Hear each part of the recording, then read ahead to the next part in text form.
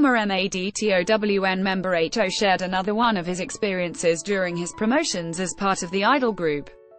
This time, he spoke about what idols go through during the shooting of music programs.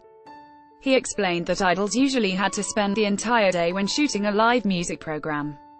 This is because the rehearsal, when he was promoting, began at 6 a.m. Then he described how the rehearsal went.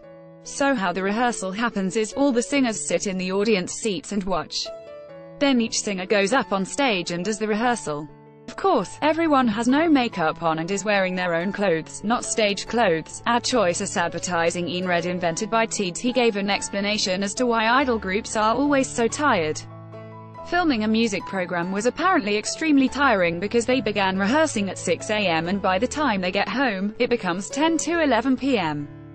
Then the next day, the schedule repeats with another music program. Your browser does not support video. There's a total of three rehearsals. There's the first rehearsal, a rehearsal after wearing our complete stage outfits, then a camera rehearsal.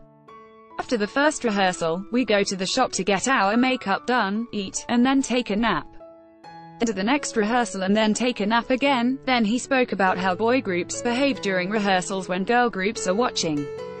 He explained that all singers appearing on a music show put on in-ear headphones that allow the person to hear the sounds coming from the mics.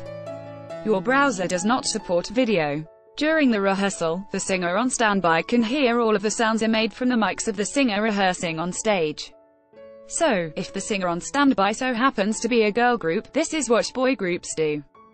Your browser does not support video, they add extra improvisations and overdo themselves to look good in front of the girl group.